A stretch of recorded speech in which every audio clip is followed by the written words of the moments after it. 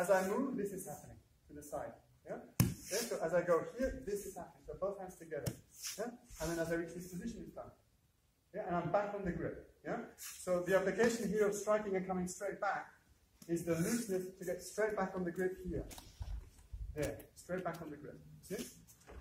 Yeah, but what I want you to do, is I want you to do this slow motion. So coordinate, coordinate, coordinate, and then straight back. And then you're in the Nikyo. Yeah, right, try again. Slow motion.